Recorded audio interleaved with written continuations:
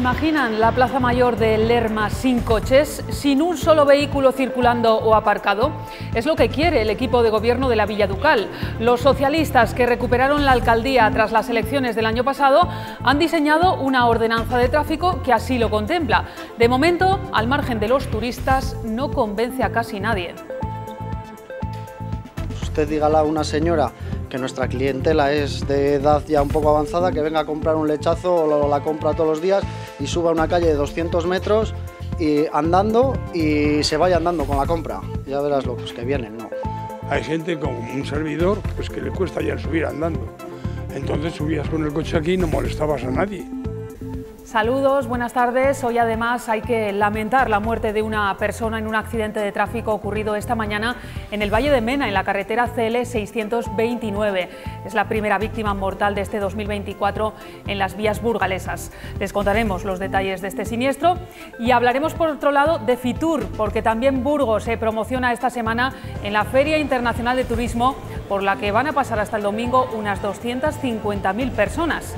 El Ayuntamiento de la capital ha aprovechado la cita para presentar las líneas generales de la candidatura de Burgos Capital Europea de la Cultura 2031. Los centros educativos de la provincia de Burgos tienen entre 15 y 20 puestos de personal laboral sin cubrir por baja de sus titulares. Comisiones Obreras denuncia que la Consejería de Educación no cubre las bajas del personal no docente por norma, lo que conlleva, dicen, una sobrecarga de trabajo. Algunos centros del norte de la provincia tienen la plantilla de servicios al 50%. En el Ayuntamiento de Burgos, el portavoz del Grupo Socialista estima que lo más probable es que la disolución de los consorcios no sea un hecho, al menos ha dicho, hasta el final del mandato, hasta 2027. Daniel de la Rosa plantea además que la Fundación Caja de Burgos siga gestionando la venta de suelo hasta que se cuente con un equipo especializado en la sociedad municipal promueve. Si hemos tardado ocho años en liquidar la asociación Plan Estratégico y todavía no hemos terminado. Se tardaron cuatro años en liquidar la Fundación Proyecta y una cosita así. ¿Cuánto vamos a tardar realmente en liquidar los consorcios? Esa es la pregunta. En deportes, esta mañana un equipo de la 8 ha acompañado al jugador del Burgos, Esteban Sabelic, en una de sus sesiones de recuperación. El argentino no se marca plazos ni fechas para poder volver a estar disponible. Fue operado, recordamos, el 10 de noviembre de una rotura completa del ligamento cruzado anterior de su rodilla derecha. La intervención fue un éxito y hoy, tras más de dos meses con tratamiento y ejercicios constantes, ha podido saltar al césped por primera vez para realizar carrera continua. Eso sí, habla de un camino muy, muy duro. Siempre cuando de ellos me emociono. Eh, y bueno, gracias a ellos me ayudaron y, y bueno, los días se hacían más llevaderos, eh, todo fue mejor a mejor y bueno, de un momento a otro no, nos plantamos en enero, que ya van dos meses, eh, la cosa va muy bien, puedo hacer muchos ejercicios que, que me ayudan muchísimo y bueno, ya de a poquito viendo, viendo la luz. Mañana viernes continuará el anticiclón dominando la situación y volveremos a tener nieblas de madrugada y al amanecer que podrán ser algo persistentes por el sur y el oeste de la provincia. Las temperaturas serán más altas en las zonas de montaña que en los valles.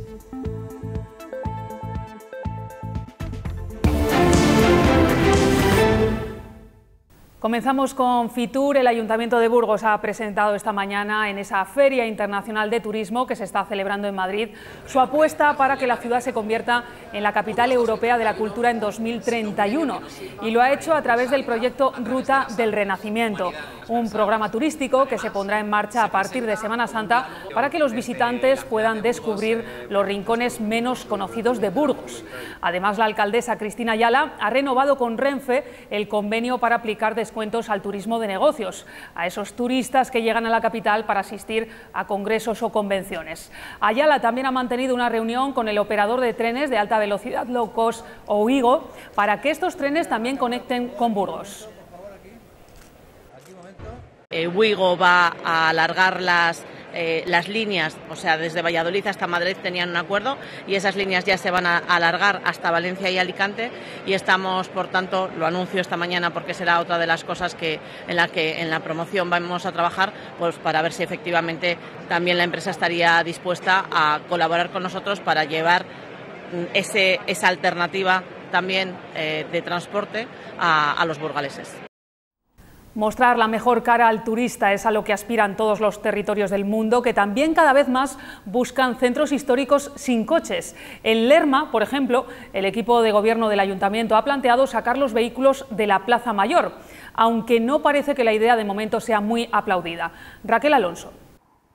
Así es, el equipo de gobierno ya tiene lista la ordenanza que regulará el tráfico aquí en Lerma eh, y que pretende eliminar las plazas de aparcamiento de la Plaza Mayor en la que nos encontramos junto al parador de la Villa Ducal. La ordenanza se someterá a información pública en breve y después se abrirá el plazo para presentar alegaciones. Por el momento los nermeños no ven con buenos ojos esta medida, tampoco los comerciantes y hosteleros que dicen que perjudicará seriamente a sus negocios. Sin embargo, los turistas sí que aceptan la propuesta porque dicen que ofrecerá una imagen más amable del entorno.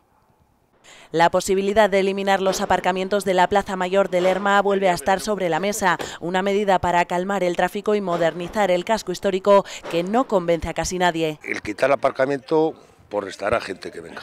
Los mismos del hotel, por ejemplo, ¿Cómo pueden aparcar aquí? Si no aparcan aquí, ¿cómo van a venir? Pues a mí no me parece mal. Yo entiendo que la gente que vive allí, los que tengan comercios, pero hay una zona de carga y descarga. Comercios y hostelería rechazan la propuesta porque aseguran que motivará el cierre de muchos negocios del entorno. Para nosotros es la muerte que quiten la Plaza Mayor, porque el principal flujo de clientes que recibe el pueblo, tanto para Parador como para todo el comercio aledaño, es la Plaza Mayor. Si lo ven con buenos ojos los turistas que aseguran que se embellecería mucho el espacio. Pues a mí me parece que las plazas deben de estar libres de aparcamiento y sobre todo estas plazas tan bonitas. El equipo de gobierno señala que se ofrecerán otras alternativas de aparcamiento, como el entorno de la Plaza de Toros o la Plaza de los Mesones y Santa Teresa. ¿Y dónde se, hay que llevarlo? Hay que llevarlo pues, a las afueras. Entonces yo creo que esto perdería vida. Pues nos gusta ir con el coche, yo creo que... Hasta la puerta. Bastantes de que los miércoles, como aquí se pone la feria, pues ya se quitan, pero el resto de, de, la semana pues viene bien, porque si no, ¿dónde le vamos a dejar? El anterior equipo de gobierno ya planteó la peatonalización de este entorno en 2019, pero no salió adelante por la falta de apoyos de la oposición y de los lermeños. En el Ayuntamiento de Burgos, el portavoz del Grupo Socialista estima que la disolución de los consorcios será larga y no concluirá hasta el último tramo del actual mandato, que finaliza en 2027. Daniel de la Rosa plantea que la Fundación Caja de Burgos siga gestionando la venta de suelo hasta que se conforme un equipo especializado en la sociedad municipal Promueve. El socialista también se ha referido hoy a la alegación de Vox contra el presupuesto de su propio equipo de gobierno. La disolución de los consorcios implicará la contratación en Promueve de un equipo especializado en la venta de suelo. Y no es verdad que eso se pueda hacer en 12 o 18 meses. Pero lo más complejo será la liquidación de estos órganos. El portavoz socialista, que insiste en reivindicar la paternidad de esta decisión, cree que se prolongará hasta la última parte del mandato municipal. En el Ecuador de este mandato, avanzado el Ecuador de este mandato, en el último tramo del mandato, que será mucho más realista hablar de esto que de lo otro, ojalá me equivoque, ¿eh? pero no lo creo. Por ello, plantea que hasta entonces la Fundación Caja de Burgos siga ocupándose de la venta de parcelas del ferrocarril y de Villalonquejar. Y respecto a la alegación de Vox para suprimir del presupuesto la partida de cooperación al desarrollo, advierte que solo se pueden plantear para enmendar errores. Cuando hay un descuadre, cuando hay un mal cálculo, cuando hay un criterio presupuestario que no es el adecuado, o se entiende que no es el adecuado. Pero no caben alegaciones políticas. No caben, sinceramente. Voy a estar muy atento al informe de la sección, al informe jurídico del secretario y al informe de la intervención. El Grupo Socialista también pide la convocatoria de comisiones extraordinarias para poder debatir los asuntos que en este mandato no abordan en las reuniones ordinarias. La estación depuradora de Burgos participará en un proyecto europeo para capturar el dióxido de carbono que se produce en la planta. La iniciativa propone una solución circular para convertir las emisiones de CO2 procedentes del biogás generado en la depuradora en plásticos biodegradables, por ejemplo, para las coberturas de los envases de papel de uso alimentario. En Burgos se construirá una planta piloto para capturar ese dióxido de carbono del biogás, aunque no se realizará aquí su conversión. Se espera que la planta entre en funcionamiento en 2025. En nuestros digestores generamos la corriente de biogás que separamos en dos líneas. Una línea será el CO2, altamente puro, que será el que nos servirá para generar estos plásticos, y por otra línea tendremos el, metano eh, también muy concentrado. ¿Qué ventaja tenemos? Que además de tener esta línea de CO2 que se puede comercializar vendiéndola a empresas plásticas, la línea de metano tiene tanta concentración de metano que va a permitir asemejarse al gas natural. Entonces va a poder usarse tal cual se usa el gas natural. Vamos eh, ahora con sindicatos. Comisiones Obreras denuncia que la Consejería de Educación de la Junta no cubre las bajas entre el personal laboral de los centros escolares de la provincia. Estiman que actualmente hay entre 15 y 20 vacantes, algunas desde principios del curso. Hablamos de conserjes, personal de limpieza y cocina, fisioterapeutas y también eh, técnicos de educación infantil. Los casos más graves los encontraríamos en dos centros de Medina de Pomar y Miranda de Ebro, con la plantilla de servicios al 50% o en la Escuela de Artes de Burgos, que tiene una única persona para realizar la limpieza de todo el centro.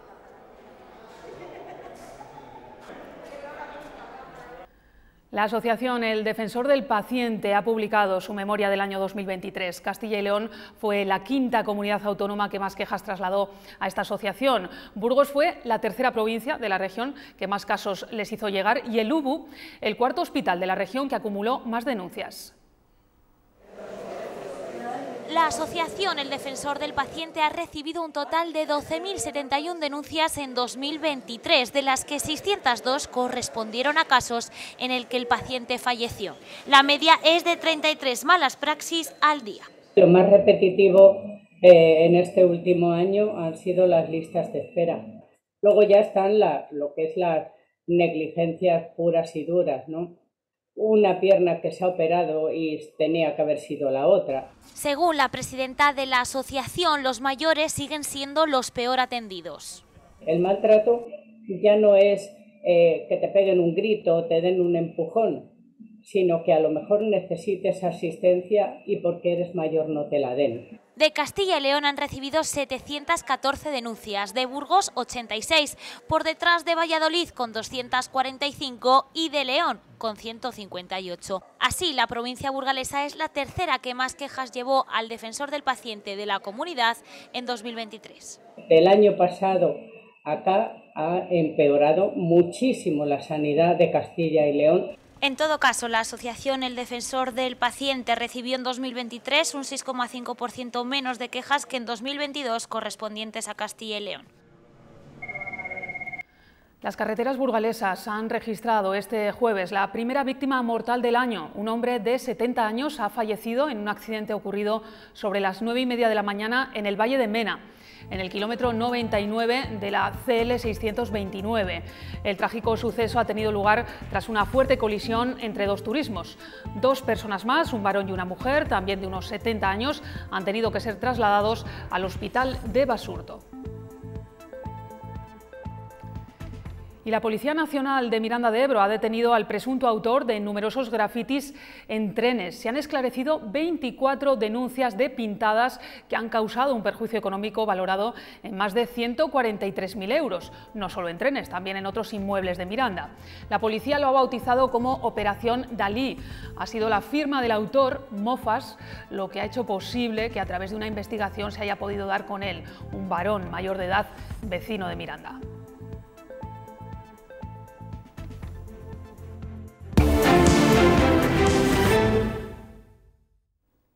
Para nosotros esto es algo precioso y que sabéis que llevamos nuestra tierra con mucho orgullo y con humildad allá donde vamos y recibir este premio pues nos llena de alegría y de satisfacción.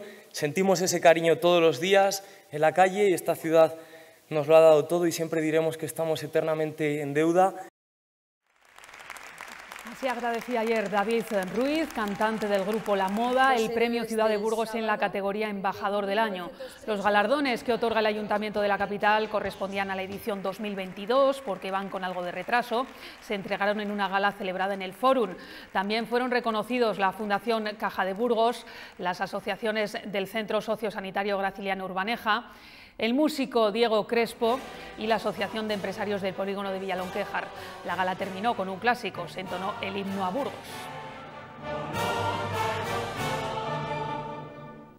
Este último fin de semana de enero llega con alma fiestera, dispuesto a tomar las calles. La primera parada en el barrio de San Julián. Trinidad Pérez es este año su alcaldesa por un día allí. Esta tarde recogerá las peticiones de sus vecinos para después trasladárselas el próximo 1 de febrero a su homóloga, la alcaldesa oficial, Cristina Ayala. Y este fin de semana la ciudad también honrará a otro santo, San Lesmes, patrona además de Burgos. Mañana viernes el pregón correrá a cargo de Luis Abril por la tarde. El domingo se celebrarán los actos centrales con la misa en honor al santo, el reparto de los tradicionales panecillos en la Plaza de San Juan y la actuación de danzantes gigantillos y grupos de danza. No has venido por casualidad, yo te he elegido a ti. Como novedad este año, eh, cabe reseñar en el programa eh, una J para San Lesmes que se celebrará el día 30 a las 12 del mediodía. Esta actividad tiene dos vertientes. En primer lugar, es tiene una parte educativa eh, que se viene celebrando en los centros que lo han solicitado y que enseña a bailar la jota en varias clases de varios cursos en los centros escolares. Multicar Center patrocina este espacio.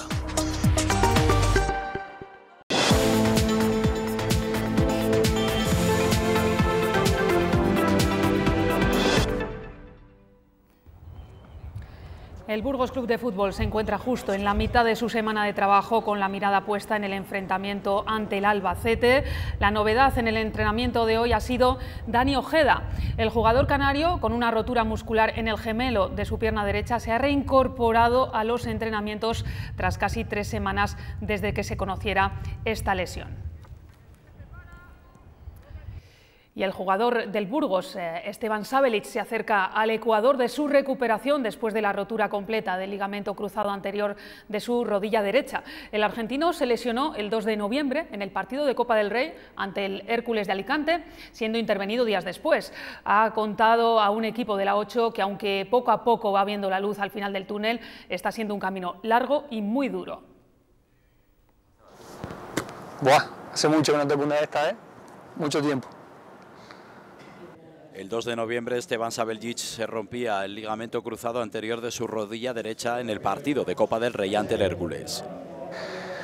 La verdad que en ese momento es como que lo único que quería estar en mi casa. O sea, lo primero que hice fue llamar a mi mujer, llamar a... que pobre, no entendía nada porque claro, el partido por ahí no estaba televisado y me decía, pero ¿qué te pasa si vos tenés que estar jugando? Y claro, yo estaba llorando mucho y no, no, no podía hablar, no podía expresarme hasta que se lo dije. Días después era operado y se iniciaba un largo proceso de recuperación. El apoyo de su familia en este camino está siendo fundamental.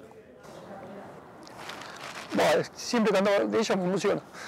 Eh, y bueno, gracias a ellos me ayudaron y, y bueno, los días se hacían más llevaderos, eh, todo fue mejor a mejor y bueno, de un momento a otro no, nos plantamos en enero, que ya van dos meses, eh, la cosa va muy bien, puedo hacer muchos ejercicios que, que me ayuda muchísimo. Y bueno, ya de a poquito viendo, viendo la luz. Hoy ha hecho carrera continua por primera vez y solo piensa en recuperarse bien. Espero que, que la, que la raya responda bien y a partir de ahora poder ya ir ganando más, ir haciendo más cosas en, en campo, que al final es lo que, lo que uno quiere, lo que uno extraña. Paciencia, confianza y esperanza, tres claves que Esteban lleva a rajatabla para volver a sentirse futbolista.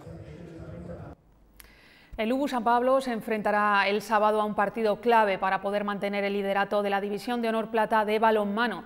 Después de arrancar un punto de oro en la pasada jornada a su más inmediato perseguidor, el caserío Ciudad Real, en esta ocasión toca desplazamiento a Barcelona. Su rival, el Barça B, es uno de los más duros de la categoría, aunque los burgaleses ya consiguieron vencer al Barcelona en la primera vuelta. Pero en esta ocasión su principal temor es que puedan reforzar la plantilla con la incorporación de jugadores del primer equipo. La racha de encuentros complejos, eh, en todo caso, seguirá unas semanas más. La salida de las más complicadas que vamos a tener eh, hasta final de temporada, porque el Barça B pues es un equipo que, corre mucho, que juega muy bien, que puede eh, bajar incluso ahora jugadores del primer equipo. Luego recibimos a Cisne, el Derby, van a ser partidos muy, muy complicados que van a marcar un poco dónde vamos a estar. Si en, en la pelea por el ascenso directo o, bueno, o en, o en playoff. Les dejamos ya con el pronóstico del tiempo que nos sirve Daniel Angulo. Disfruten de la tarde. Adiós.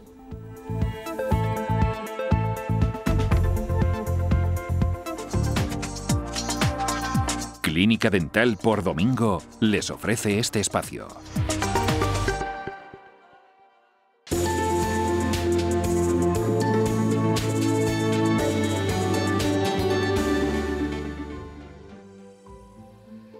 En la imagen del satélite Meteosat que nos muestra el noroeste de la península ibérica, vemos que las nieblas sobre el Valle del Duero en la meseta del norte eran menos intensas que días anteriores. Esto es debido a que el anticiclón poco a poco empieza a moverse, ya no nos mete tanto aire húmedo en niveles medios de la atmósfera y por lo tanto eso hace que las nieblas no sean intensas. No obstante, mañana viernes todavía habrá que contar con muchas nieblas al amanecer que luego irán levantando y eso sí, aumentará la nubosidad de tipo alto según avance el día, entrando también viento del nordeste por la tarde en nuestra provincia concretando para nuestro territorio para este viernes 26 de enero. En el norte, como estos días de atrás, cielos poco nubosos con aumento de cirros o nubes altas durante el día, pero sin más importancia. Las máximas sobre 16, 17 grados en el 18 en el Valle del Ebro y las mínimas más bajas, sobre 1 a 3.